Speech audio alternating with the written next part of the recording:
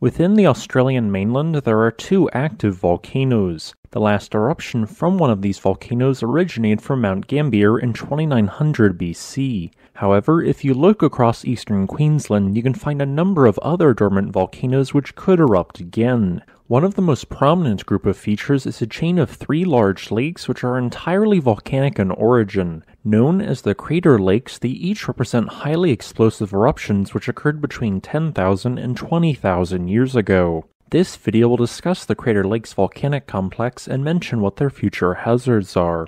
The larger of the two crater lakes are located within Crater Lakes National Park in northeast Queensland. The closest major city to these craters is Cairns, which lies 46 kilometers or 25 miles to the north northeast. The three volcanic lakes that I will be discussing in this video form a relatively straight line and represent a zone of recent volcanic activity within Queensland. These lakes are all considered to be what are termed maars, which are essentially volcanic explosion craters. They are only a subset of a much larger volcanic field within Queensland which has been active intermittently for 7.1 million years. Known as the Atherton Volcanic Field, this larger volcanic complex contains 52 different eruptive centers spread out over an area of 1800 square kilometers. In addition to shield volcanoes and maars, the Atherton Volcanic Province also is responsible for numerous cinder cone forming eruptions. As an example, the seven cinder cones shown on screen are referred to as the Seven Sisters and formed via separately mildly explosive eruptions approximately 350,000 years ago.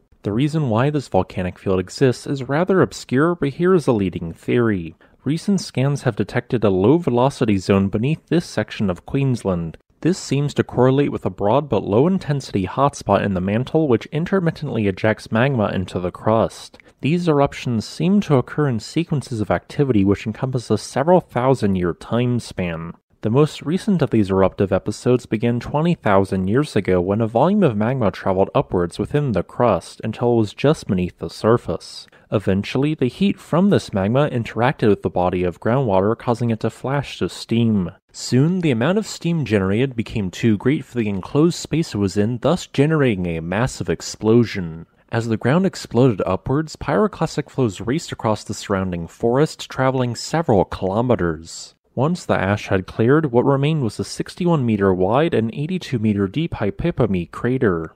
This crater erupted into a thick bed of granite, causing very little of the surrounding rock to be vaporized and thus forming a steep edifice. Then, 17,000 years ago, a new batch of magma traveled upwards 23 kilometers to the northeast. This time, the magma interacted with a shallower body of groundwater, causing the resulting explosion to be more energetic. The crater formed by this explosion measured approximately a kilometer wide and has since been overlaid by a body of fresh water called Lake Barrine. The most recent eruption occurred only 11,000 years ago when a similar eruptive sequence occurred 3.5 kilometers to the south.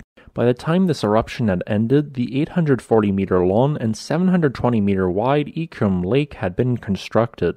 It is quite likely that the Aboriginals in the area directly witnessed these eruptions, as their oral stories of the formation of these lakes is a close match to what actually happened given the scientific evidence. Overall, these three lakes will almost certainly not erupt again, as they each represent isolated volcanic vents. With this being said, a future eruption could occur adjacent to one of these lakes, perhaps only a kilometer away. The odds of another eruption, whether it be a cinder cone forming eruption or maar forming eruption, is approximately 1 in 35,000 each year. Either type of eruption would create the need for regional evacuations within an 8 kilometer radius. I hope that you enjoyed this video. If you'd like to request a specific topic, please leave a comment below. Additionally, if you wish to support this channel, consider becoming a patron on Patreon.